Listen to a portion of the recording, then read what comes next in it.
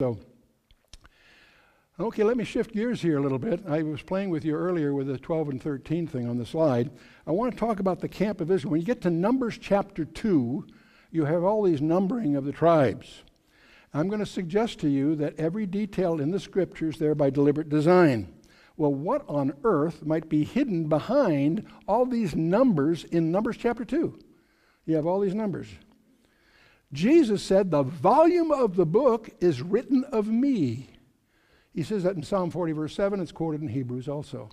And so let's take a look at this. Well, when you go through Numbers chapter 2, you discover that Judah was 74,600, the tribe of Issachar. They're numbering people over, the males only over 25. But anyway, setting that aside, Judah is 74,600, Issachar 54,4. And uh, we discover that the 12 tribes are clustered into four camps.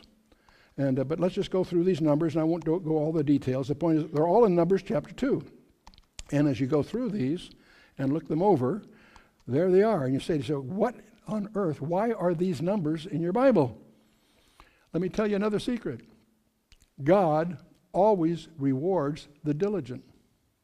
If you're paying attention to Numbers chapter 2 carefully, you know that the 12 tribes are clustered into four camps. Judah, Issachar, and Zebulun together become the camp of Judah. Reuben, Simeon, and Gad become the camp of Reuben. Ephraim, Manasseh, and Benjamin become the camp of Ephraim, and Dan, Asher, and Naphtali, the tribe of Dan, uh, the camp of Dan. So the nation was grouped into four camps. And, and when we look at that and tally them, we have a glimpse of those four camps. So far, are you with me? Let's notice something else as we go here. You notice those are 12 tribes without Levi. Levi was separated. See, there's 13 tribes you can choose from. You always have to get a baker's dozen, so you've got a spare here. The, the Levites camped in the middle. There was the tabernacle. We always have the bottom of the map that, uh, with east at the bottom, north to the right, west, and so forth. And in there we have the Levites the three families, the, the Gershonites, Kohathites, and uh, Merarites are on the west, south, and north side of the tabernacle. Then at the east side, you have Moses and the priests. So that was the way the Levites, including Moses and the priests, camped. We don't know how much space were required by them, but whatever it is is going to be our unit. So whatever space that is, it is that's the space because you'll see what, where I'm headed here you gotta you gotta give them credit. They really tried very hard to follow the law. And what the Torah says is the camp of Judah is to be east of the Levites. Okay. And the camp of Reuben is to be south of the Levites, and so on. When you examine that carefully, you realize that, that, that to be really strict here, what do you do with the area that's southeast? It's neither south nor east. Okay. So what do you do with that? I'm going to suggest to you that if you follow the Torah's instruction, you only can use the ordinal points of the compass. And the width of the camp for Levi is the basic unit you're going to use. And the length of the arm will be proportional to the population. So let's take a look at this. Right in the middle, we have the Levites, and they add up to about 22,000 as a total.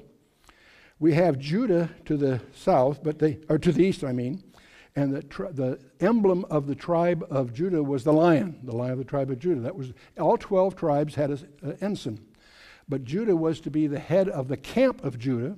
And so that's they all camped, but they could only camp as wide as the Levites if they're going to stay east of the Levites.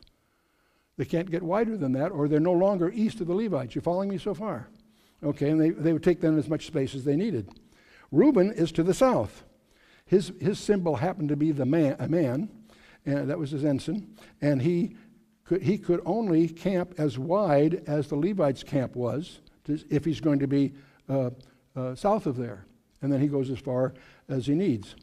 And then, of course, see, the people down here in this space that's southeast is neither south or east, so it's not camped. You following me? That's, that's overlooked by most people unless you look at the text very carefully. Well, to, so the, the southeast, southwest, north, those are for, you know, forbidden areas. To the, to the uh, west, we have Ephraim and his three to make the camp of Ephraim, and his symbol was the ox, a symbol of servanthood, if you will. And then, of course, to the north, we have the tribe of Dan. Now, the tribe of Dan originally had the symbol of the serpent in Genesis 49. But Ahiezer didn't like that, so he changed the symbol to an eagle with a serpent in its mouth. And that becomes the symbol, or the ensign, if you will, of the tribe of Dan. Many people fumble on that by not knowing that little detail. But the point is, his symbol was, of course, the eagle. And that's well documented through your text. And again, he would be north. He can only be north.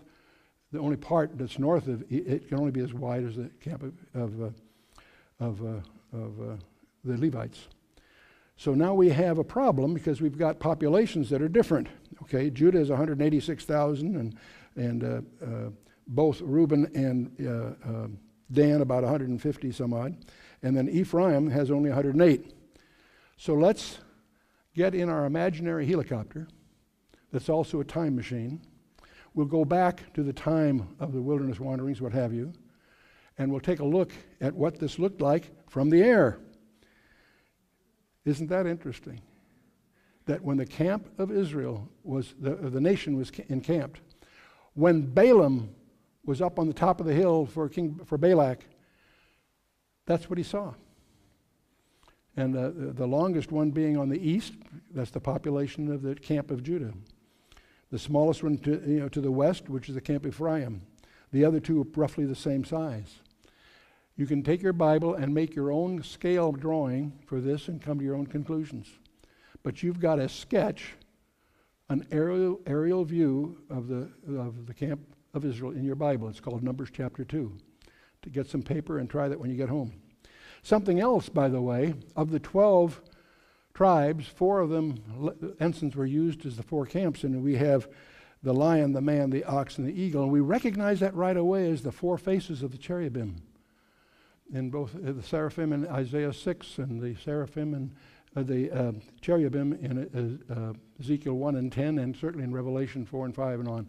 So uh, you can run with that one if you like. But they apparently, when they were encamped, were making a model of the throne of God. The throne of God. In fact, those same four things, if you look at the design of the Gospels, we know that Matthew's Gospel is designed to present him as the Mashiach, the Messiah, the, the King of Judah. Mark has no genealogy. He's, he, he's, he's, we don't care about the pedigree of the servant. Luke emphasizes his manhood, the Son of Man, and John, of course, his deity, as Son of God. And so uh, they have genealogies that are proportional to that. Matthew's genealogy starts with the first Jew, Abraham. Luke starts with Adam and goes to the end. And Mark doesn't deal with genealogies because he's dealing with his servanthood. You don't worry about the pedigree of the servant. John has a genealogy in his gospel, but you don't recognize it because it's the genealogy of the pre existent one in the first three verses. And uh, as we move on, then we have Matthew, what, Je- uh, what Jesus said, Mark's the shooting script for Peter. It's a, what, Jesus, what he did. Luke gives us his humanity. You feel how he felt. And then, of course, John, who he really was. And so, uh, and they reach right to a distinctive audience. And uh, they each uh, the miracle, the first miracle fits that model, and the, uh, they each end. Uh, Matthew with the resurrection, of course, as Mark with the ascension. Luke sets up his sequel book, Luke volume 2, called the Book of Acts, the promise of the Spirit. John sets up his sequel in his thing called the Revelation. I, I believe his gospel was written before, after the Patmos experience. But uh, uh, each one of these were recognized by the early church as being represented by the four faces of the cherubim the lion, the ox, the man, and the eagle. The same uh, signatures, if you will, that surround the camp when they're encamped. So those are things that you can take a look at and come to your own conclusions.